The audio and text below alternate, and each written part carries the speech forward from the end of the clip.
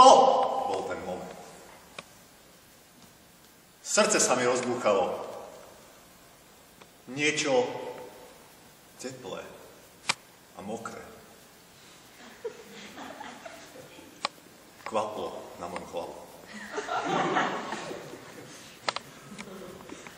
V tom udrel blesk a v tej horúčave letný dážď, či skôr búrka, zaliala celú krajinu.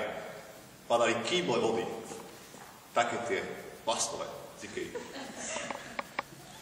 Červené. Keby ste sa spýtali niekoho iného, predstavil by si, že to nie je možné. Že by padali kýble. Padať žaby ľudia už videli padať kýble.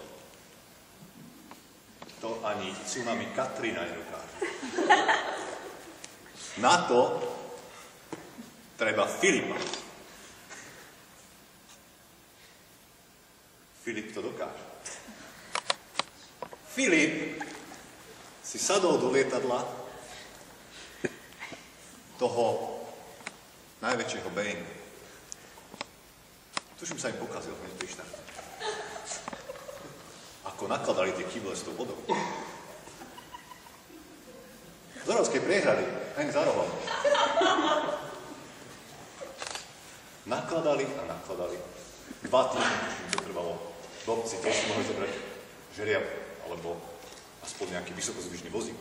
Ale oni to robí dvaja a ruka. A potom tie kýble hádzali. 10 tisíc metrov. Viete si to predstaviť? No. Našťastie bolo vtedy teplo, tak ten kýbol stihol rozmrznúť. Viete si predstaviť, že by to, čo by padlo na hlavu, nebola teplá mokrá kvapka, ale nádherný červený kýbel Ikej? To by už asi nebol ten moment,